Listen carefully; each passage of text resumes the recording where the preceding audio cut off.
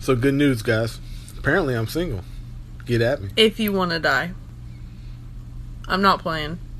YOLO.